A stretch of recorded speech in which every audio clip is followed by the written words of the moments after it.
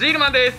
いや皆様今回はですね伝説の食玩をご紹介。それがこちら。ガンダムアダプト。こちら。2006年にバンダイキャンディートイ事業部さんから発売されたものです。なのでこれ僕の当時品なんですね。なのであの未開封新品というわけにはいきませんでした。でさらにこちら。シークレット含めて全5種なんです。ただね今3種しかございません。こちらはなんか空箱なんでね。はい。肝心なねこの表紙にあるこのガンダム。これがね抜けてるんですよね。ガンダムアダプトなのに言うてね。いや本当に申し訳ないですが。ただ本当に造形めちゃくちゃかっこいいのでちょっと紹介したくて今回引っ張り出してきました。改めてこちらがガンダムアダプトのラインナップでございます。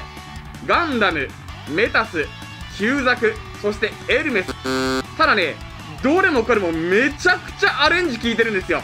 でさらにこのガンダムこれのシークレットとして G3 タイプがございました、まあ、ただ今回僕はねあのガンダムも G3 ガンダムも持っておりませんと。はいそこのところご了承ください。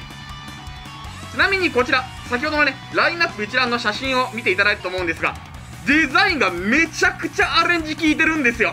でこのアレンジすごいなと思って調べたらデザインされたのが木下智武氏なんですね。木下智武氏ってガンダムアーティファクトのデザインを今されてるんですよ。あなるほどなと。同じような系譜があってそのガンダムアーティファクトのご先祖様みたいな感じですよね。なのでそのね素晴らしいかっこいいアレンジされたデザインそれをね今回じっくりと見ていきましょう。それではこちらまあまあすでに開封済みではあるんですが改めて開封だ。はいてなわけでブリスターから出しました。いや本当にめっちゃくちゃかっこいいよね。まあ、僕は持ってないんだけどガンダムとかあとはねこの旧作なんてのはそんなに極端なアレンジではないんですがメタスやララースン専用モビルアーマーこれはねめちゃくちゃアレンジ効いてます。特にララースン専用モビルアーマーこれよ。まあスケールが統一されてるとは書いてないんですけどもまあ一応ねメタスや旧作を見るに大体同スケールの中でっていうことはこのララースーン専用モビルアーマーもあえてねこうやって小型化してアレンジしたんじゃないかって思うんですよ。そして短期で狩るモビルアーマーとして最適なサイズになった上で様々なね武装なんかもアレンジされてていやもう本当にかっこいいの。あとはね、まあ、もちろん後ほど1個ずつちゃんと見るんですけどこういうねディテールの細かさねこれ。やっぱガンダムアーティファクトに通じるものがありますよね。あと付属品はこのカード。ララース専用モビルアーマーとメタスと旧作それぞれのカードがついてきます。またこれ裏面がさこの木下智武さんのイラストなわけでいやこのさ精密なディテールと書き込みめちゃくちゃかっこいい。もうねこれだけでご飯3杯いけるね。1枚につきご飯1杯で。さあそれでは、まあ、このねカードも含めて各種順番に見ていきましょう。まずは旧作から。はい改めてこちらがガンダムアダプトの旧ザクでございます。こちらがカードの表面。ザク1このガンダムアダプトの文字ですね。そして裏面。まずこの左上の方からね各武装とかのディテールそういったところがしっかりと書かれてます。そして大きく描かれた旧ザク。いやこれね旧作がまたガトリング持ってんのがたまんないよね。もうジルマもガトリング大好きなんでこれ最高ですよ。そしてそのイラストを元に立体化されたのがこちらということですからね。いやもう再現率がえぐい。はいまずはお顔。いや僕ねほんと旧作の顔めちゃくちゃ好きなんですよ。これもね非常にイケメンです。いやーいいね。あとねこの後ろの方にちょっとしたねアンテナ的なうんこういうアレンジも加わってますね。そして胴体や肩周りのディテール。このシルバーの塗りもすごくいいしいかにも機械って感じが好きなんですよね。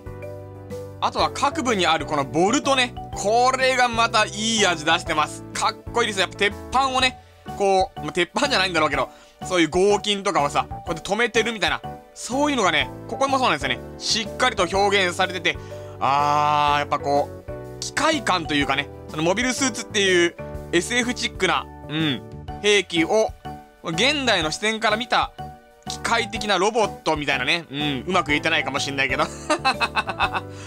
そういうねその要は現代的な解釈とその SF 的解釈の中間を目指してるというかさまあ僕は勝手に思ってるだけなんだけどそういうデザインを感じ取れるような、うん、造形とかでそのデザインをねしてるっていうのはいや本当にこれはねよくぞ立体化してくれたなって思いますよ。うん。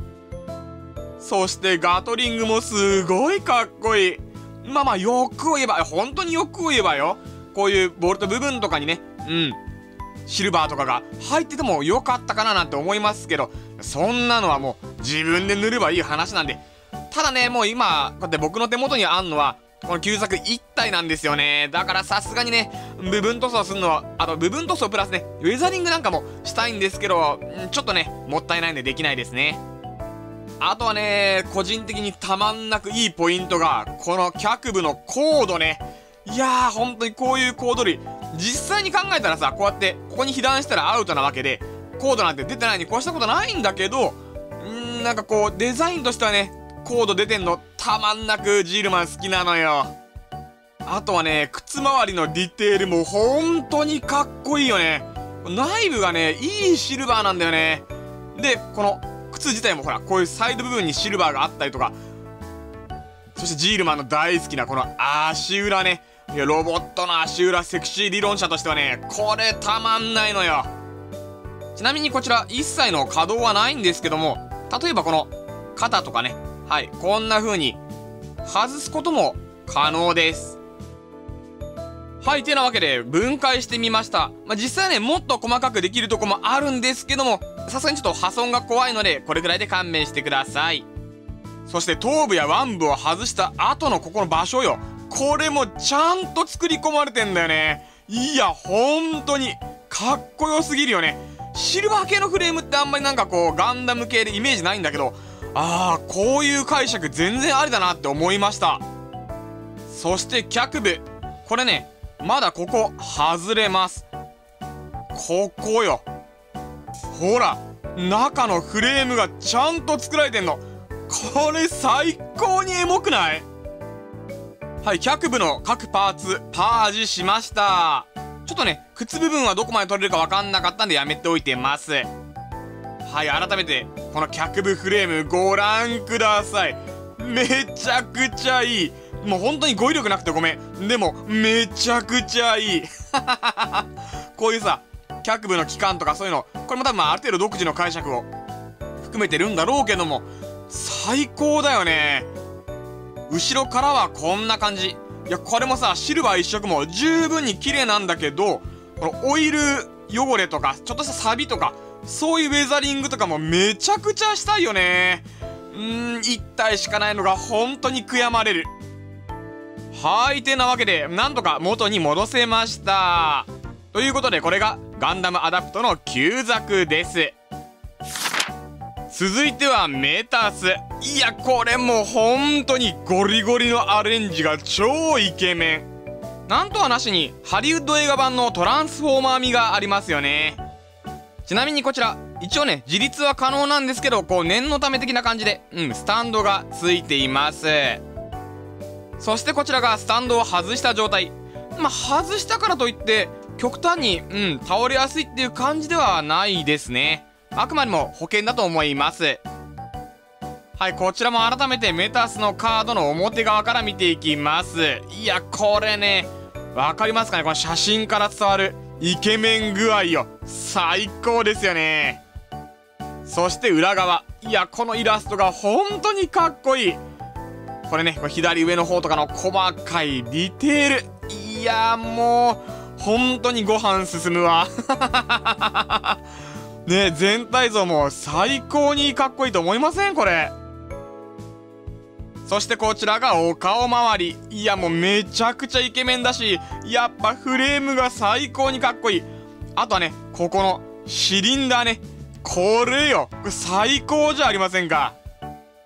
あとはねこのハイブの背負い物これもすごいかっこいいんですよ。なんかね工具工具というか工業的な、うん、道具っぽく見えますよね。あとはこのワン部と一体型の、マシンガンなのかな？うんこうやってマガジンがついてて銃口があって多分だからね実体弾系だと思うんですけどもこういうねワン部備え付きの武器ってかっこいいですよね。そして下半身。これもねこういうボルト部分とかがめちゃくちゃ細かく塗り分けられてていや最高にかっこいいですよ。そして脚部もねこの装甲の裏側こういうところもしっかり作り込まれてて細部ももうめちゃくちゃ密度がすごい。あとは足裏とかこのバーニアの中も含めて本当にねこれ今普通に売り出したら1体2000円とかしそうですよね。それぐらいにクオリティがめちゃくちゃ高いと思います。そしてこのメタスも当然ながら旧作のようにある程度分解することが可能です。はいこちらも可能な範囲で分解してみました。まあね例えばこの脚部の外側なんかも分解可能そうなんですけども経年劣化とかでね塗料が固まって破損とかすると怖いのでやめておきました。まずは胴体と腰。いやこれ本当に分解してみるとね余計そのディテールの凄さ本当に分かりますよね。このほら首の後ろ側とかもめちゃくちゃ細かいんですよ。かっこいい。あとは腕で見づらかった。後ろ側のねこれパイプとかシリンダーとかもしっかり見えるしこの肩とね腕の肩と腕じゃねえや。肩と胴体のつなぎ目の中のフレームとかこれもねちゃんと見えますね。めちゃくちゃ作り込まれてるし塗りが細かい。そして改めて肩とか二の腕周り。いや二の腕細いですよね。本当にほぼフレームって感じでこの武骨さもねまた僕は好きなんですよね。あとはさっきまでつながってた接続部こういうところもしっかりとフレームが作り込まれてるんだわ。かっこいい。あとはねこれのセンサー類ですかね。そうこういうところもしっかりとクリアパーツで。はい。綺麗ですよね。いい感じに光を反射します。そして脚部のフレーム。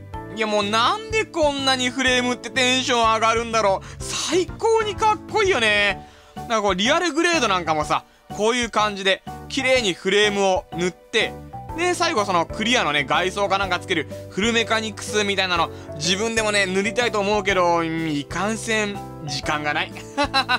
ごめんねいつも時間がないを言い訳にして本当に申し訳ない。ただ本当に時間がない。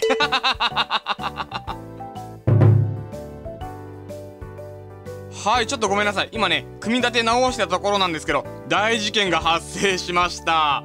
なんとねここのこの接続パーツがパキって割れちゃったんですね。やはり古いものだからほんとこういうのって非常に経年劣化はありますよね。はいちょっとね不格好で申し訳ないんですけどこれ、ね、接着剤がはみ出ちゃったような跡これね出てますよね。反対側は当然一体成形なんで綺麗なものです。まあ、ここに関しては全ての撮影が終わったらヤスリをかけてニュートラルグレーを塗っておきます。いや本当にびっくりした。こういう無稼働で分解可能な食玩。それをね久々に引っ張り出す際は皆様もどうかお気をつけてください。はいそして今回の動画最後はララースン専用モビルアーマー。そしてこちらもまずはカードから。いや本当にね何度でも言うけどこのアレンジはめちゃくちゃいいしめちゃくちゃすごいよ。そして裏側。いやこれもねこの左上部分。これ見ていきますけども。めちゃくちゃ細かいよね。伝わるかな？この凄さと細かさ。これなんかはねこのビットの部分に関するイラストですよね。もう本当に書き込みがめちゃくちゃ細かくてすっごい。語彙力もなくなっちゃうけどすっごい。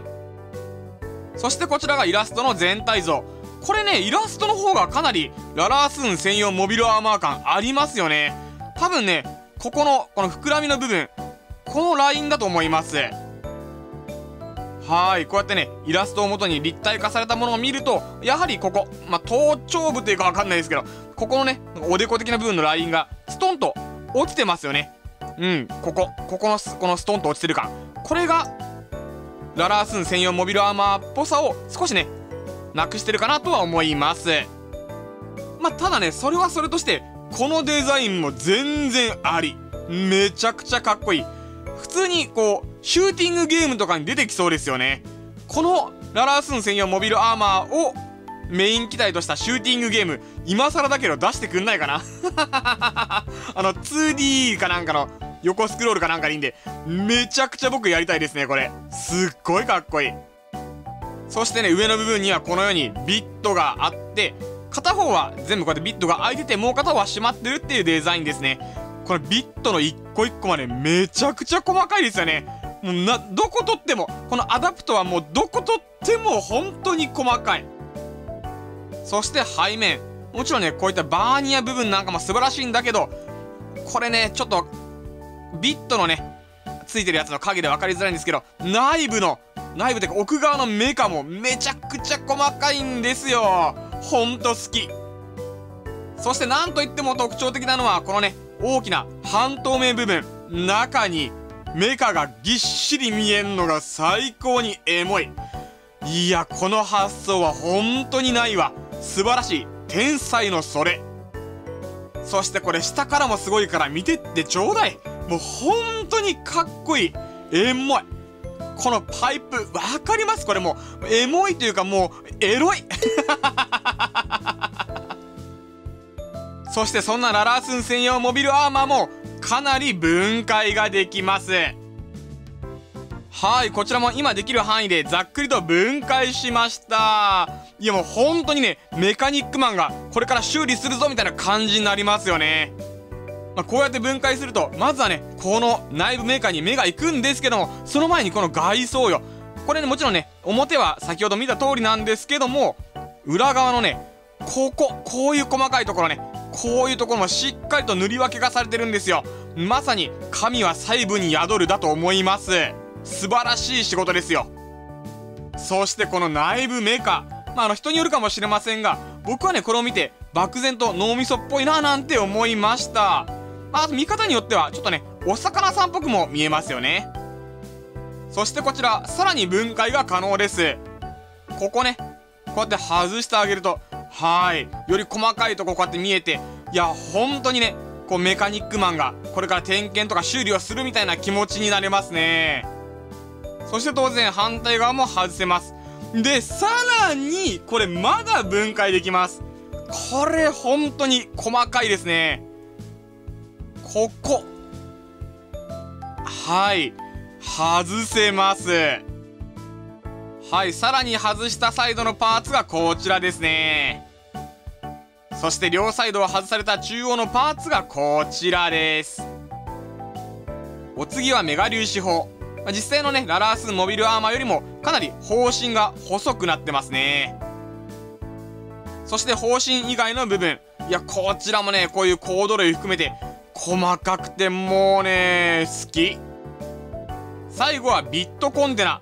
これねすごいんですよ。はいご覧ください。全て外しました。はいここの場所にもね一切ついていません。いやここまで徹底して分解できるとマジでメカニックマンになった気持ちになりますね。そして分解箇所が多いということは塗装がしやすいんですよね。いや実はジールマンこのエルメスだけは2個持ってんですよ。いやちょっとこれねなんか塗りたくなりますけどじゃあ塗れるかって言ったらもうね塗るところがないぐらい全部塗られてるんでうーんどうしようかななんて思ってます。まあとにもかくにもここまでね細かく分解できるとか本当に考えられないぐらいよくできた食玩ですよ。はいこちらもなんとか元に戻りました。いや改めて本当にどれもすごかったよね。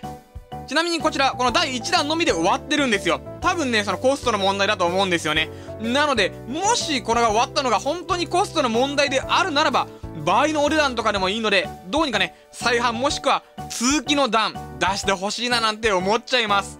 それくらい細部に至るまで本当に良い食玩でした。ということで今回は2006年に発売された伝説的クオリティの食玩ガンダムアダプトのご紹介でした。この後は各種ターンテーブルでしっかりとお見せするのでよければ最後までご覧ください。それと自分もガンダムアダプト持ってるよ。これ本当にかっこよかったよねって思う方もそうでない方も。よければ高評価とチャンネル登録をしていただけるとすごく励みになります。Twitter のフォローも動画概要欄からぜひ。それでは今回もご視聴ありがとうございました。またね